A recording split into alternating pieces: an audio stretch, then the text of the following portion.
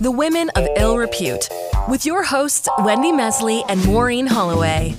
Well, here we are, Wendy, full fledged podcasters and part time cowgirls. How does it feel? I don't know because it's weird. It's you know I sort of wonder are there are there people out there? I mean, sure there are like hordes, but it's kind of like TV. You imagine that there are people out there. It's like when I was reading the news late at night on the national at CBC, and I would think, okay, on the other side of that lens, there's all these people and they're watching, and maybe God forbid they're naked, but I sort of imagined them in their jammies and tried not to think about what might be happening. But you were there at the other end. You were doing morning shows. I was there in the morning, yeah. And I would imagine people in their jammies doing things I'd rather not imagine. So I actually don't like being with people. I'm an introvert. I just want to make them laugh and then and go back to bed. But today we're going to talk to somebody who really is at the top of our list of women of ill repute. Yeah, because she pissed off a lot of people. She is a criminal defense lawyer. She represented Jian Ghomeshi, who of course was at CBC when I was at CBC. Yeah, it was a really juicy case. It got a lot of attention for all sorts of reasons. Yeah, so she, so it's Marie Henein. She's probably Canada's best known criminal defense lawyer. She defended Jian Ghomeshi, who of course was accused of violently assaulting women. He, thanks to her or to hit the facts of his case, was found not guilty. And a lot of people are mad at her for defending him. And they're probably, well, I'm sure they're still mad. For doing her job well. It was so controversial, the ruling, that at one point, like uh, she writes in her book, because she's written a book now about how people haven't wanted her to go and speak at universities and stuff because people will complain saying, well, yeah, but she represented that guy. Even the Toronto School Board, it came out the person who organized their book club said that having her speak would send the wrong message. And also, and that I'm really looking forward to talking to her about this. She pisses people off because she doesn't look like a lawyer. She's got this fabulous hair. She wears super expensive clothes and she posts sexy pics. And she's written a book, as we mentioned, called Nothing But the Truth. And it is a really good read. Highly recommend it. Yeah. So it, it was. It was a great book.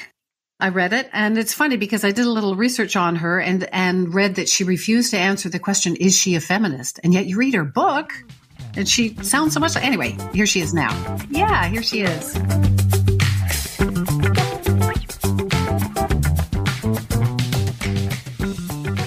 It's quite something because I think like you started your own firm with a partner and I hate to start a serious interview this way, but we all are thinking of that photo spread that you did that created such a shock because you showed your bare arms.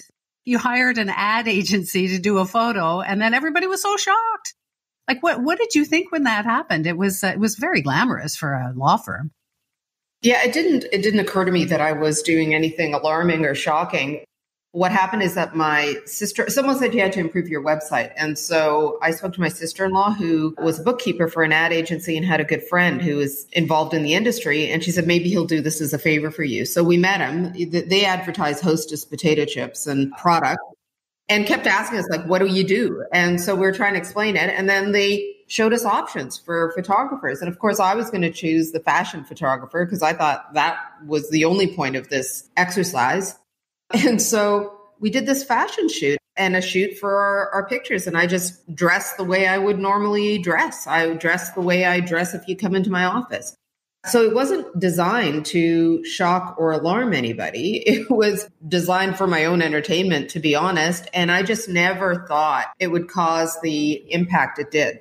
But even yesterday, someone commented about it and said to me, you know, it really changed the way they did their website. But that being said, Wendy and I devoured your book. On top of everything, you're a terrific writer and great storyteller.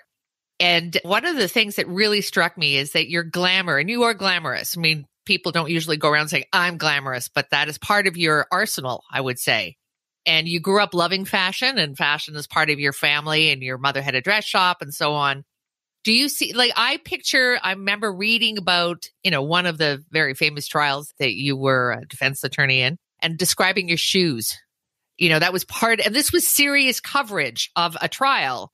And they would mention your stilettos. And I thought that was fabulous. Of course, other people thought it was inappropriate, but it is. Is it not part of your toolbox? No, it's not part of my toolbox. It's part of who I am. It's not put on. It is who I am. I would dress like this. And I did dress like this in high school. You know, it was a girls' uniform school, Catholic girls' school. And on the one day we could dress in our own clothes, I was in leather pants and purple lizard shoes that my uncle had bought for me from New York. You know, I would shave the side of my head. I would dye my hair different colors. I mean, that was always part of the stuff that I did because it was just interesting to me. So it's not put on. And, you know, I think people have to be comfortable in their own skin and do what they like. So that is who I am. I don't view it as an arsenal. But on your point that there is that coverage, that is quite striking because the coverage of women is obviously very gendered, even when you're being covered by other women. And the commentary on your physical appearance is part and parcel of many articles. And that is pretty consistent. You know, when you think of Hillary Clinton, they were commenting on the color of her pantsuit and what she was wearing. When she lost the election, the commentary was on what she looked like and whether, you know, her hair was done or not. So that is a, a, very gendered approach to comment on a person whose job it is not to be a model. It's to do a particular thing to focus on their appearance. I found it so interesting because when I worked on the Hill, I mean, we all dressed up as men, basically. Like our, our parents, like your mom, was taught that your role is as a wife and as a homemaker and as a mother. And then we were like my generation was sort of taught to fight back against that and rah rah. And then my daughter is like, no, more like, why can't we have both? And then so I was so struck in reading your book about the whole thing because back when CBC used to allow people to give speeches, I used to talk about women and work and work life balance and all that stuff. And because it was a question that I was asked all the time and I thought it was relevant. And then in your book, you're like, hell no. Like, why aren't, I think your quote is, I'll gladly speak to a room full of men on how they can adjust their work life balance. But any invites to talk about that? No, I'm still waiting for a group of men who want me to tell them what they can do better. I'm happy to do it at any point in time. But, you know, it, it's classic, right? We view it as our problem and as though we are the first people on the face of the earth that want to have careers and families. But, you know, I always say there is actually a model for that the other sex has done it very successfully for many, many years. So why don't we look at what they did to achieve that balance? And what they did is they had partners that were supportive. They outsourced a lot of things. You know, they are entitled to be focused on their work. And nobody would ever say to a man, how do you have a family and have a job? Nobody would think of asking that question because what is buried into that question is how do you have a family and a job is that it's your responsibility and yours alone and that they're inconsistent things. So, you know, I don't subscribe to that view at, at all. I think it's impossible, quite frankly. I think it is impossible to do it all. And I think it's a bill of goods we're being sold that it's our obligation to do it all. It's not our fault and our problem. I think the answer lies elsewhere. Well, it's, it's talking about family, and family is extremely important to you, despite the fact that admittedly you've spent probably the better part of your waking life at work. I want to ask you a bit about your relationship with comedy. I mean, when we said we wanted to approach you, and Wendy and I agreed that you were at the top of our list for women of ill repute, and Wendy said, Oh, she's going to be very serious. This is very serious. And then after reading your book, you have a strong relationship with comedy. Your uncle Sammy was a performer. You had an aunt who was a comedian. And your brother also worked as a comedian, like a successful comedian before becoming a lawyer. There's a deep sense of humor running through your, your veins. You know, I hope so. I don't think I'm the funniest in the family. Certainly, I, I, think my brother takes the cake, but I like to think I can be funny and I don't take everything I do seriously. I don't take myself seriously in certain respects. So yeah, you know, I think comedy is uh, pretty important. I used to go to comedy clubs when I was super young. I mean, even in New York, I, I, remember going to comedy clubs. Probably my first introduction to comedy clubs were in in New York. I've always loved it. I, I think it's insightful and brilliant. I certainly am not of that caliber. There's a performative aspect to everything, whether you're in court or on stage. That you know there are commonalities there. I think you're funny. I wondered why you chose criminal law. And it just seems like for a woman in particular, and, and you talk a lot in your book about growing up feeling like an outsider. So like, did you choose that because it was the hardest, most important thing to do? Or where did the drive come from? I have to tell you, for much of my life, I think I was zoned out as to what was going on around me in the sense of the things I was supposed to do and not do because of the way I was brought up, because of my personality. I fell in love with criminal law for a number of reasons. One was the subject matter. Uh, you know, that's what you see on TV. When you think of a lawyer, you're seeing a criminal case. So, you know, everyone's sense of what lawyers do, and certainly mine, was litigation and, and defense work. I found it exciting and it's my natural inclination. I am a fighter. And so the other part of it that is significant is it was suitable to me and my personality. So, you know, when I chose this for much of my life, I didn't think that was an unusual, shocking, outrageous thing to do. And I didn't think that it was going to be gendered. I just didn't, it didn't occur to me because I, I guess it's my mom. I had such self confidence in my ability to do this job and my right to do it. I didn't think I would be viewed any differently. But I think as you get older, and there are a few of you in the profession that stick around this long, you know, three decades into it, you definitely begin to feel it because there's very few of you around. And there are certain keys to the room that people don't willingly give up.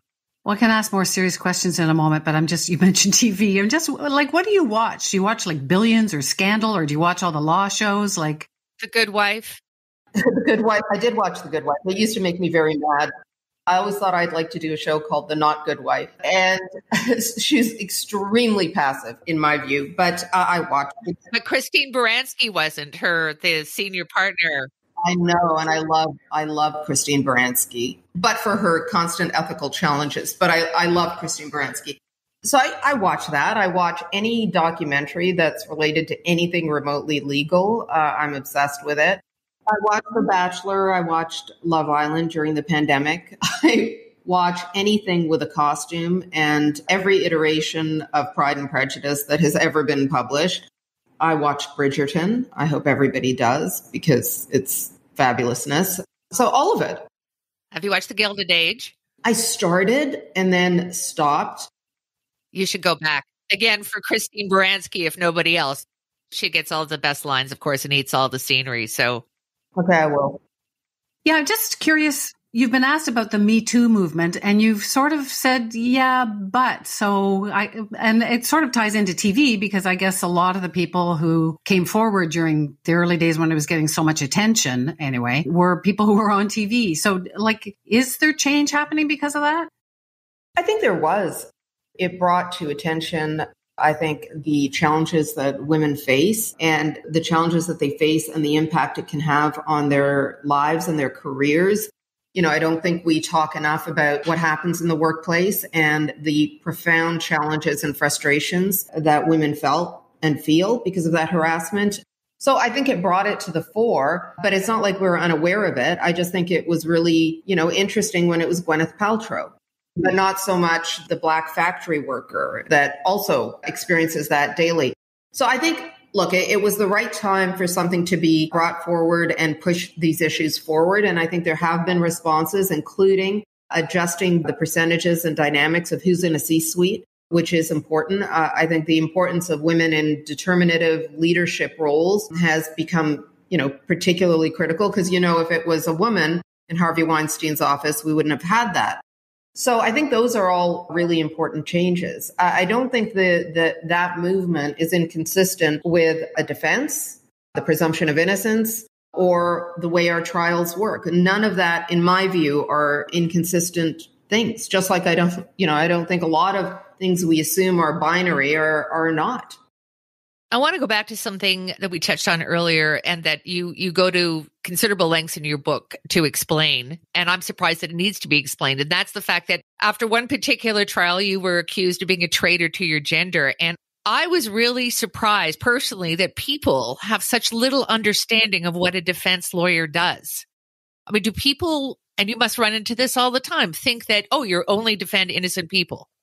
I think people don't really know what the role is. I think there is confusion because of what you see in the media, you know, on shows of what our job is, and, and you're constantly presented as being ethically conflicted. I don't think they get how you fit into the whole system. And I, I think we have to do a better job of explaining it.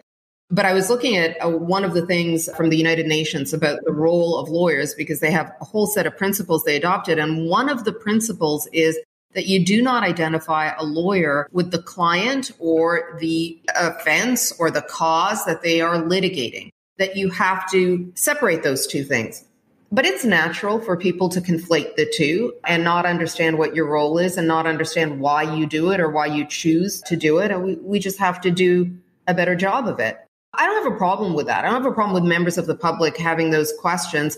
I do have a problem when it's propagated by by members of the government though. The women of ill repute. I'm sort of curious. Like, I know you don't want to go into the Jian Ghomeshi case, and I sure don't want to go into that. But some of his accusers, like they went to the police and they spilled their guts and with no representation. And, and, and you've said that people need better access. Everybody needs better access to justice. And you've set up a, a volunteer program for inmates to want to do appeal. And I just, I just wonder, like, do people, and you've said even for the police in particular that they need to do better. Like, what, what needs to be done? Well, there's a lot that needs to to be done to do better. Uh, first of all, we represent in our office, and I have victims as well uh, of crime. And often, one of the things that you're trying to do is to navigate the process and to prepare them to testify, to prepare them and, and answer questions when they're interfacing with the prosecution or the police because they don't know; they've never been through the process. And it is very important to be able to give them information, give all participants information about what's expected, what a judge is doing, you know, the, the assumptions that people have about if they say something are people going to disbelieve me, they're often just wrong. So you you have to go through that process to educate a person who is making a decision to go through the criminal system. So number 1 is access to representation. That is fundamental. It is the most important thing. It's it's like asking you to perform surgery on yourself. We never ask people to do that. It is as necessary when you're navigating the legal system to have representation, to have professionals who know what they're doing. And the police need training on how to deal with complex cases. And, you know, I think there's a feeling that if they don't ask a question, the defense lawyer isn't going to ask it. And that's the biggest mistake you can conceivably make and the greatest disservice you can make to a witness. You have to ask the tough questions because often there are very good answers to those tough questions. So shying away from that and being gingerly in terms of uh-huh. interacting with witnesses, I don't think is an effective investigation. The best investigations are the ones that are thorough. So Sarah Polley, she's kind of well known. She's come forward with this book now saying that she decided not to come forward with any accusations because she had sort of made jokes and she had been friendly with the person on the air and that she was told that she wouldn't be taken seriously. I'm just wondering, like, we all know, I'm sure, women who have said, I have been told that there is no point, that the system won't work for me. What needs to be done so that women who are telling the truth can feel like the system will represent them? And we can move on after this. Uh, well, she probably needs a better lawyer to give her advice. So that that is not accurate. And it would require a, fairly lengthy discussion of how the courts deal with that sort of thing. But we know, and I'll give you uh, an example that I think we're pretty familiar with now and sensitized to. It used to be that there was an assumption that a woman that was abused by her husband would automatically leave. And eventually, through a lot of litigation and expert evidence, that assumption was completely set aside. We know about the cycle of violence. We know that people can continue to have friendly relationships with their abuser. Uh, they can remain in relationships, all those sorts of things. So, number one, that is inaccurate because the law does not assume that. It depends on the nature of the contact, whether it's voluntary. So, for example, if you say, I was terrified of this person, I never wanted to speak to them, and I did not speak to them, and then you say, well, hold on a second. You did speak to them 10 times. The relevance of it isn't that you spoke to them. The relevance of it is that you lied about speaking to them. So there are very significant distinctions and it is incorrect to make those assumptions and those statements because they're not borne out in cases. They really are not. It is a lot more factually precise and courts have done a good job, I think, and have a long way to go still of disabusing themselves of gendered, really archaic views about how women behave in certain circumstances. So that advice may have been relevant 20 years ago, 30 years ago, 40 years ago, but in my view would be incorrect legal advice now. And yet, don't you know women who are told by the system that it'll ruin you? You won't win. And some of these cases, I'm sure, are true. Some may not be. But it is this common sense of people who are lawyers and judges that if you've been sexually assaulted, that like good luck, like you probably won't come out ahead. So I'm just wondering what needs, if anything can change for that, or if we are, if you think we are getting somewhere. A criminal case is different than a civil case. In a civil case, you're suing to win or lose. You win money, you get a, a, settlement, or you would lose. That is a very different construct than a criminal case where the only issue is do you deprive this person of their liberty? Do you send them to jail? So there's no winning or losing.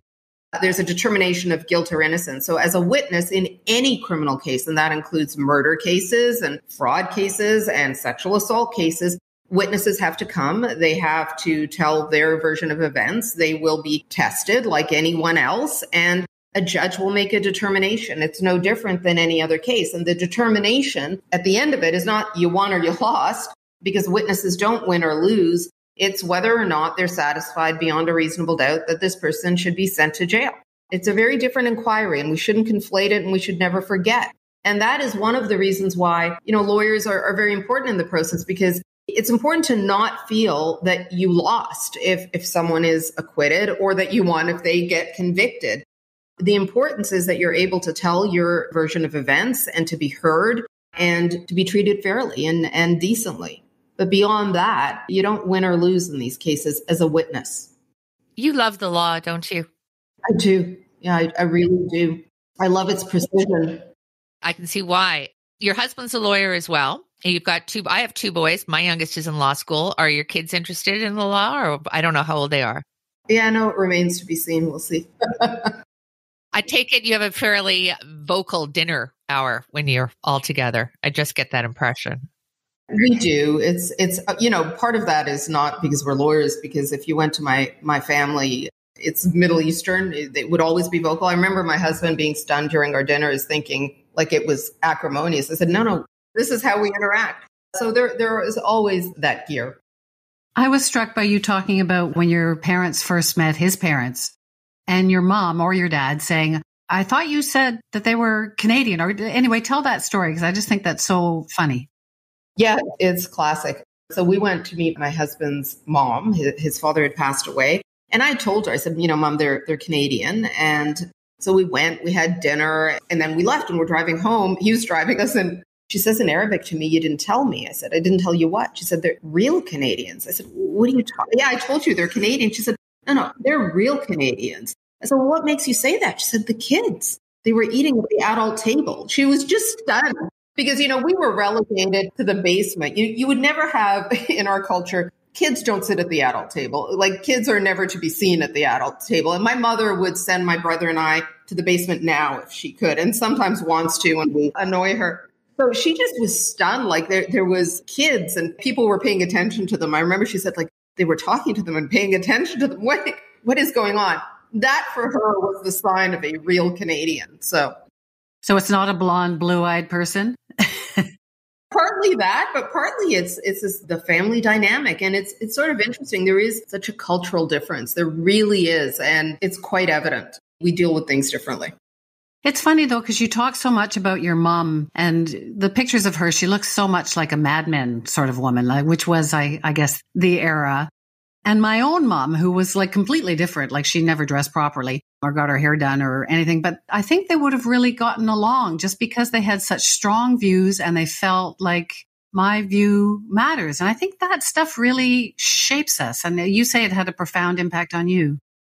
It, really does. And, you know, when you're looking at it, it's true. And that's one of the reasons I included the pictures because I don't think people understood when I'm trying to describe her she is living in a, a very traditional Middle Eastern country in Cairo. And she dressed like she was Audrey Hepburn. And she went out of her way to dress like that. She did love that. And she wanted to be very North American. And I guess that was, uh, you know, part of her way of resisting what that environment was. And of course, it, it did very much shape my, my attitude because it was very much part of her that she didn't like being put in this box and she didn't like the limitations on women.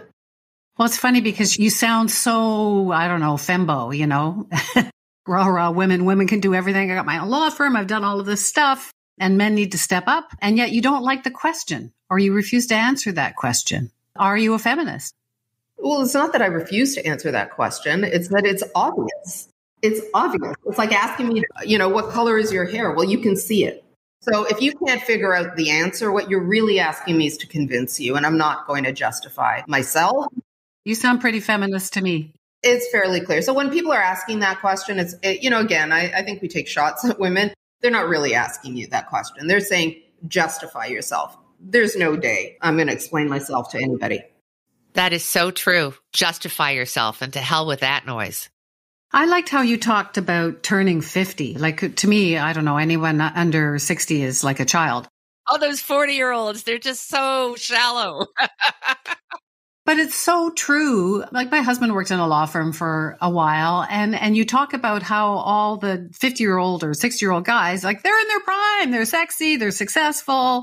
And yet women, Maureen and I have talked about this, you become invisible at 50. It's, uh, did you feel that? I mean, I definitely it was weird. You know, you can go to town on, you think you're going to make a grand entrance, and you're lucky if someone doesn't ask you to pass them a drink. Like you're just completely a non starter. And it is stunning. It's actually stunning because I would look at my colleagues and I would think, just wait a second, hold on. You're in the prime of your life. You're not in the prime of your life. I hate to break it to you. But you think you are, and everyone's treating you like you are. Like you have not only hit the top of the hill, but you're like you're attractive, you're you're successful, you're and all my friends, all these awesome women, really incredible women, we're feeling crappy about ourselves. And it's not because we don't think we're great, because like when we sit in a group together, we're just loving each other. But the rest of the world doesn't feel that way about you. And, you know, the silencing of women, the marginalizing of women at, at every stage, right? There's so many different iterations of it. But when you're older, pretty stunning. And I have an ego and yes, I want to feel good about myself and it hurts being overlooked. It hurts. It does. And it happens, like you said, suddenly. We were talking about it the other day. Like there's like a day that I remember, the last day that a couple of guys turned around as I walked past them. I remember that day because it never happened again. You know, when you were younger, you'd like, I'd get really annoyed if, if someone in the street said anything But now I'm like thrilled. Oh my gosh, thanks for noticing. Really. Thank you, you creepy old guy. Thank you. Thank you for saying anything to me. So yeah, no, I, I haven't I have not been graceful about it. And then you've got people like Jennifer Lopez. And even when she does everything she does, people are still referencing her age. And I think, wow, even Jennifer Lopez can't be just called beautiful. She's beautiful for 50. You know, the worst is when I when there was this tweet I, I referenced in the book where a, a body rub parlor tweeted, you know, Marie Henein is kind of hot for fifty. I couldn't even get a job there at fifty. It very hurtful to my my fragile ego. Well, thank God you have had the law to fall back on, seeing as how that career option's closed to you. That's good. Yeah, I had a backup plan. Yes. Someone tweeted once that oh my God, I was watching the news last night and Wendy's kind of hot. And I just looked and she's like 60. How could that be? I'm like, that's one thing we don't have a lot of control over. You know, you can have a practice, you can have a show, you can be you can be at the top of your game, you can be a good mother, whatever that means, or a good wife, whatever that means, but you can't make the world think you're hot. Well, we're going to change that.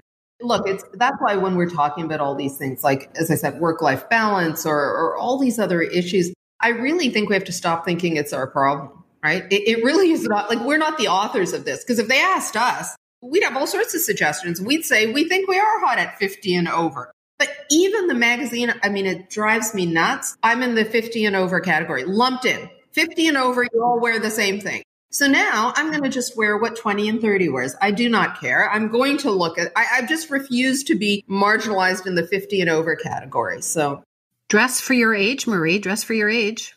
I will not dress for my age one day ever. I was going out to an event last night. My son came down. And he said, "Mom, you look really emo." I said, "Bud, I always have been. Like, I'm always that, and I'm always, you know, prone to to that look."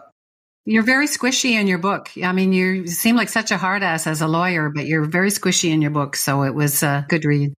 The book is great. The book is fantastic. I didn't even skim through it. I actually sat down and read right through to the end and enjoyed every bit of it. Well, that's awesome. I mean, I, you know, it, it is, I think we're more complicated than people want to give us credit for. And I, I think women in particular, again, I'm going to go off on this, but we're really put in a box. And that was part of the reason of writing the book is, is not, to, I'm not there to make people like me or to say I'm squishy. Uh, it's that I'm a human being, which I, I think we all are. And so, you know, you have different components to you. Some are good, some are not good, but we're human. And I don't think any of it minimizes your toughness or your seriousness or any of that. So it was important to me to, to convey that we're a little more than one thing or the other. And defense lawyers are not murderers, generally. Well, you never know. It's not out of the realm of possibility. Marie, we're so grateful that you took this time because you're one of the busiest people that we know, let alone are having on the show. But it's been such a pleasure. Hope to see you again, never professionally, but if ever I need, you'll be my first choice. I'm here for you. It's so great to talk to you, Marie. Thank you so much. Well, thank you so much. It's always fun chatting with you.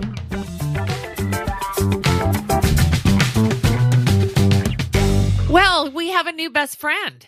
Yeah, I mean, I'm kind of conflicted because I don't think she really dealt with the question. Like, I, I, get that I should pay more attention to there's different kinds of law and different kinds of cases. So I get that. But the, like, I think we both know people who have been told by people in the business that there's no point in saying that you were raped two years ago or saying that you were choked. I think she doesn't quite see that. And yet she's fighting for so many things and she's trounced for things that she shouldn't be criticized for at all. Like lawyers are not murderers. They just represent them because that's, you need that in the system. But she, as a lawyer, she is never going, and she loves the law and she loves the precision of it. And she's never going to say that, I mean, she agrees and admits that the legal system is not serving everyone that it should, and that obviously changes have to be made. But she will never, or she shouldn't ever say, oh no, the law can't help you. Yeah, the law sucks. You're not going to get that from her. Even though I'm sure she has days where she probably comes home and goes, what the hell am I going to do with this situation? I mean, it's got to be the most brutal thing to defend someone that you know. I mean, and and Jian was only one of them. So she has defended some of the the most heinous people you can imagine successfully. Yeah, and she says she's not funny, but she's funny. I found this quote that I didn't want to throw at her because, you know, the whole Jian thing is so complicated now. But just before he hired her, she was like, Oh, well, we're going to talk about how we represent all these heinous people who do all of these terrible acts or what Jian Ghomeshi would call foreplay. oh. wow. Yeah, easy for us to laugh. Anyway, I, I didn't bring that up because I don't know, you know, there's only so far you can go in an interview. She's hilarious. You know, that brings up the whole thing about a sense of humor. A sense of humor isn't necessarily somebody who tells a good joke, it's somebody who gets it. I found, like she said, she may not love the word squishy, but it's very, like, I guess that's what you and I try and do in this podcast a little bit is to try and like talk about stuff that we've, or at least I have kept to myself, either because I was at CBC or, or because I was a journalist and you're not supposed to have opinions on anything. And now I'm just like, whatever, you know, I'm, I'm, I'm kind of like Anna Maria or Sharon Stone or whatever, shameless, I think they, they call us. Yes. We could have called this shameless. We could have called this shameless. We may yet call it shameless. Well, we are shameless, or almost. Yeah, well, I'm ashamed of a few things. But anyway, that was Marie Henein. She was fantastic. And on to the next. The Women of Ill Repute with Wendy Mesley and Maureen Holloway. Available on Apple Podcasts, Spotify, Google Podcasts, or at womenofillrepute.com. Produced and distributed by the Sound Off Media Company.